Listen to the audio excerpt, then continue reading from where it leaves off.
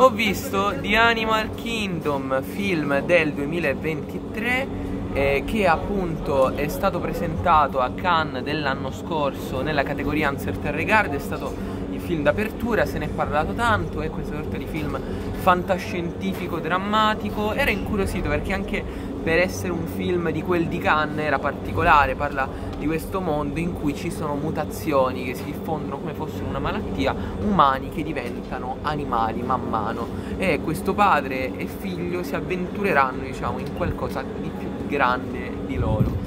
Ero incuriosito, ero molto incuriosito finché è stato rimandato parecchie volte qui in Italia, ma finalmente è uscito e vi posso dire che a me è piaciuto con i suoi difetti, nel senso che io da una parte mi aspettavo meglio, dall'altra sono comunque sorpreso.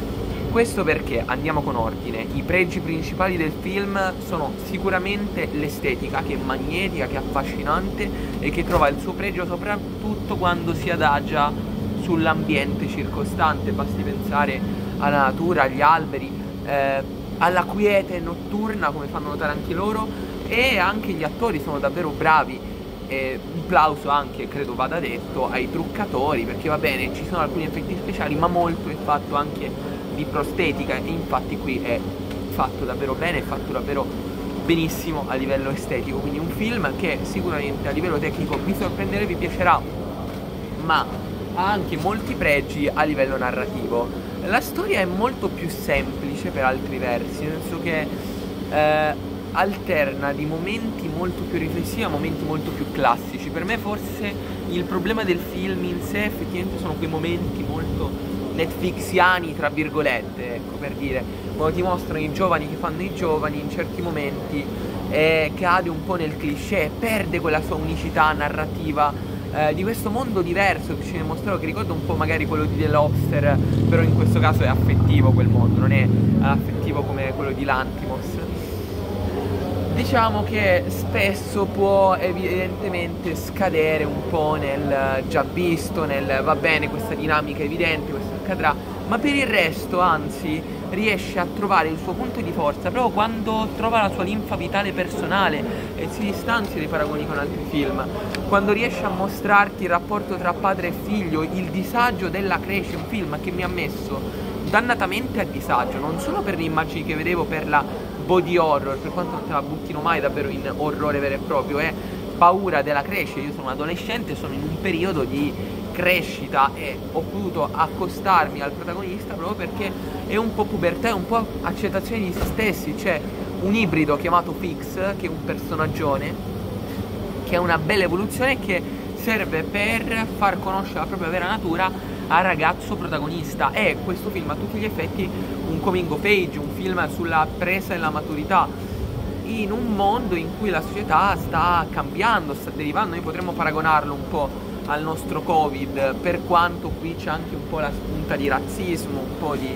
eh, di classe, c'è molta attualità all'interno di questo film. Eh, vidi il trailer con dei miei amici quando andavo a vedere un altro film un paio di settimane fa, i miei amici di subito a X-Men. Ecco, è un po' un X-Men più autoriale, molto più affascinante perché c'è anche eh, di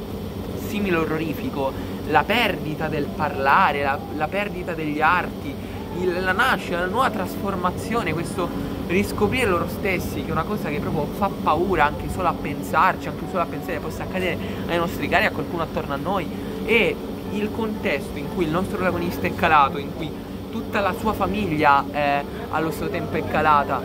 Ci sono dei momenti davvero toccanti anche a livello di dialoghi. Come ho già detto, il film nella prima parte è davvero eccelso, un filmone. La seconda c'ha quei problemi che non sono nemmeno problemi, ma sono quegli stilemi già visti e rivisti che mi fanno cadere l'originalità. Ma per il resto comunque ragazzi io non posso dire che non sia un bel film, è davvero un bel film e sicuramente dei prodotti che sono in sala in questo momento è la proposta che consiglio di recuperare, anche perché è magnetico nelle sue scelte, quello che tanti altri film avrebbero dovuto fare riesce qui anche grazie alla bravissima e bellissima regia, alla regia in generale anche del lato tecnico, anche degli attori del, del regista Thomas Kelly se non sbaglio riesce appunto a, a trascinare i suoi meandri, anzi avrei voluto ancora di più,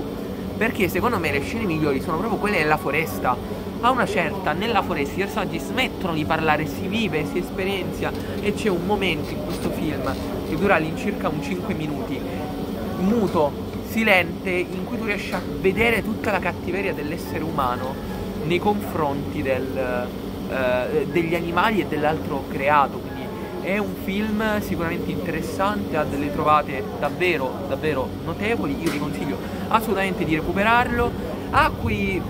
nemmeno difetti, quelle trovate che tu dici va bene, questa è un po' più classica, va bene, so già come andrà a finire, però soprattutto a livello di film sulla maturazione o a livello di film eh,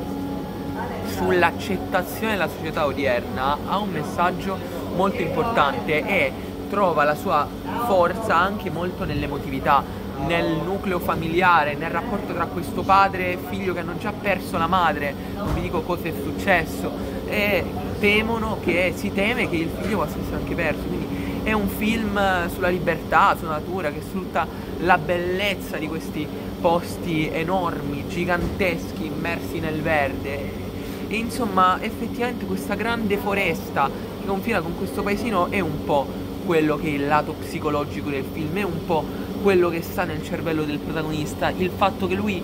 debba semplicemente abbandonarsi a quella che è la sua vera natura, la sua natura più nascosta. Forse dovremmo abbandonarci tutti a quella che è la nostra natura. Quindi, che dire, ha quei momenti a teenage movie, come sto già ripetendo, ma sicuramente riesce a